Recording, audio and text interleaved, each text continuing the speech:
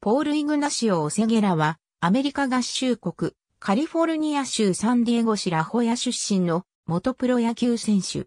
ラコスタキャニオン高からカリフォルニア大学ロサンゼルス校を経て2006年の MLB ドラフトでサンフランシスコジャイアンツから16巡目で指名を受け入団。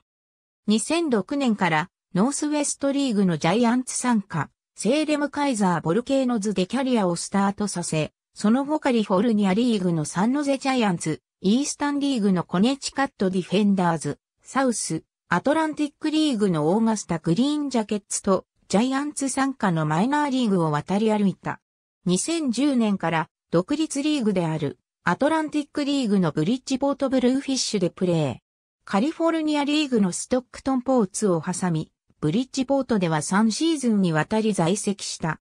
2013年シーズン前半はメキシカンリーグのレーノサブロンコスでプレーし、19試合の登板で8勝7敗、防御率3.00を記録する。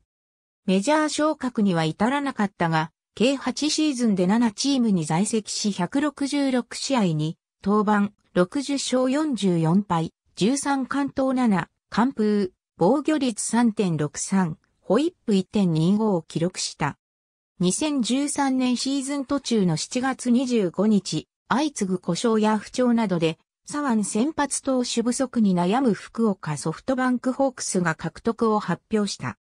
来日直後より2軍戦で登板し高騰すると、9月1日に1軍登録され初登板初先発、5回0、3を被安打4の無失点に抑え、来日初勝利を挙げた。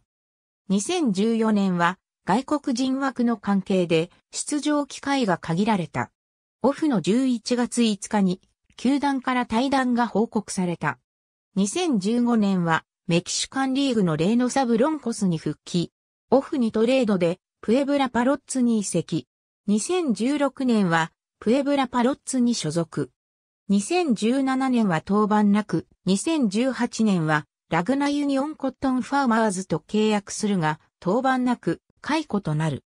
2021年よりサンフランシスコジャイアンツ参加 A-9、3のゼジャイアンツの投手コーチに就任した。時速 140km 台のストレートとツーシームをコーナーに投げ分け、緩いカーブとスライダー、チェンジアップをミックスして、緩急とコントロールで打たせて取るタイプ。来日時にはモヒカン狩りで空港に姿を現し、報道陣の度肝を抜いた。母校である UCLA では歴史学を専攻していた。妻も同大学で陸上の選手だった。野球選手でなければ教師になりたかったと話している。娘がいる。来日初勝利の際のヒーローインタビューでは、僕の名前派、ゲラゲラです。よろしく、お願いします。と発言し、会場の笑いを取ったことから、ゲラゲラという愛称で親しまれている。また、このヒーローインタビューでアナウンサーからおゲセラ、おめせらと二度も名前を間違えられてしまった。ありがとうございます。